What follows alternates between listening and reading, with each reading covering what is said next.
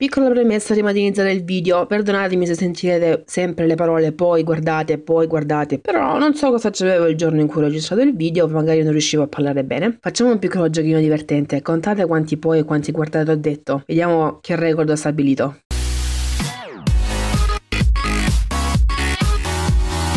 Ciao a tutti, benvenuti e bentornati sul mio canale. Oggi vi mostro degli stampi che ho realizzato con la gomma siliconica, quella lì della Prochima, che abbiamo visto anche eh, un'altra volta, ed è questa qui, la GLS 50. E, e, niente, come colorante questa volta ho utilizzato il giallo, che poi è diventato tipo un color biscotto, e i charm che ho utilizzato non penso che ancora li abbiate visti, a meno che non mi seguite su Instagram. Vi ricordo sempre che l'account è Reali Creation, ma ve lo lascio anche giù nell'info box, e eh, penso che vedrete vedrete nello specifico questi charm in un altro video mm, magari troppo di tempo quando vi farò vedere gli acquisti che ho fatto in quest'ultimo periodo e prima di iniziare con gli stampi veri e propri iniziamo con gli scarti che appunto mi è rimasta un pochino di gomma siliconica. Quindi ho voluto fare anche io una specie di creazioni con gli stampi però eh, subito dopo che li ho colati mi sono eh, ricordata che con la gomma siliconica non vanno molto d'accordo. Infatti ecco come vedete io ho già tirato fuori per paura che si fosse unito con la gomma siliconica questa qui. E, e in effetti eh, la situazione è questa ho tolto tutta quanta la lucentezza dello stampo e mi dispiace tantissimo però diciamo che ho ottenuto un risultato diciamo decente. Poi vediamo anche questo. Eh, però ehm, non vi consiglio assolutamente di utilizzare la gomma siliconica in degli stampi con della gomma. E io ho anche visto dei video simili eh, se non mi sbaglio di Erika Kawaii e però come una stupida mi sono completamente dimenticata che questa cosa non doveva essere fatta infatti ho combinato un macello perché eh, praticamente la gomma siliconica sulla gomma si è unita ed è errato. Quindi non lo fate mai poi mai. Ecco anche questa purtroppo è diventata opaca non so se riuscite a vedere. E quindi anche questo qui che se non sbaglio è un fiorellino ho rovinato lo stampo. Ma dettagli perché io se non le provo le cose non me le ricordo um, direi che questo lo posso praticamente buttare perché l'ho distrutto e mi dispiace tantissimo, ne dovrò fare un altro. Questo ci ricorda ancora una volta che non lo dovete fare. E in più poi nella mia disperazione di non voler buttare via nulla ma eh, sempre perché devo riciclare, ho detto ma sì, schiaffiamoci con la gomma siliconica, vediamo cosa ne uscirà. Anche sapendo che poi forse dovevo buttare il coperchio. E quindi vediamo che cosa ne è uscito mai da questa cosa orribilante vi dirò, vi dirò, vi dirò. Alla fine così orribilante non è e quindi si può utilizzare in qualche modo con la resina per fare non so che cosa, ma lo utilizzerò. Veniamo a quelle che ci interessano veramente, cioè questi.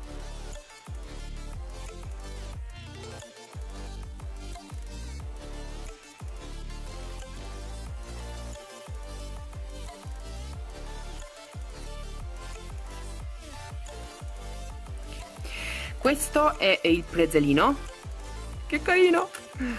Poi questo è la, mm. la ciambellina a forma di topolino. Guardate quanti sono, quanto sono lucidi. Questo era un dolce che non ho capito che cosa sia. Uh. questo qui credo che sia uscito perfetto. Poi qua abbiamo un piccolo eh, gelatino. Qui ne abbiamo un altro e qui un altro ancora. Carino. Poi qua abbiamo una piccola torta. Questa qui e lo stampo è uscito fantastico.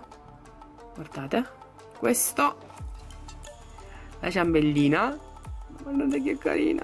Il gelatino con lo stecco. Questo qua guardate. Perfetto. Questo qua che è l'anguria.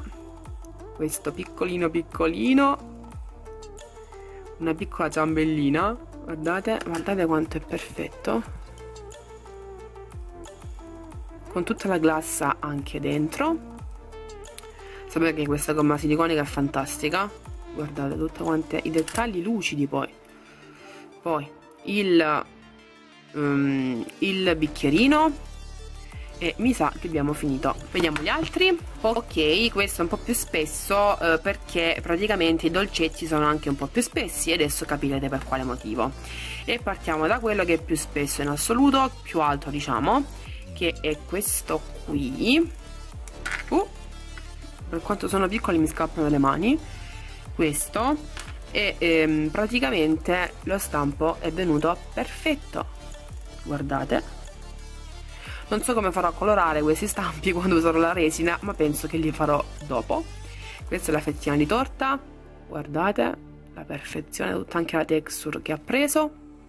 Poi una eh, piccola pallina di gelato, e anche questa è uscita perfetto, perfetta. Non so se riuscite a vedere, mm, no perché forse non mette abbastanza a fuoco, ecco, tutta la texture che ha ripreso della pallina di gelato. Guardate, ok. Poi questa che è una tortina così tutta fatta così e con la texture eccola.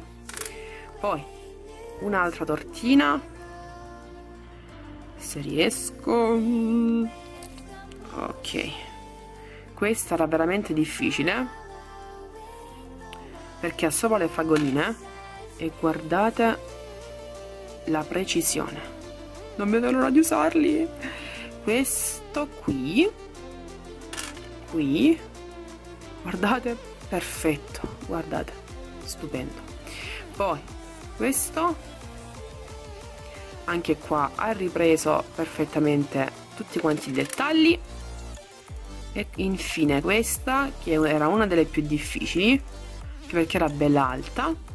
Guardate. Tutti i dettagli compreso la texture. E finito sì. Quindi questi qua questo questo e questi altri lasciamoli stare perché fanno schifo.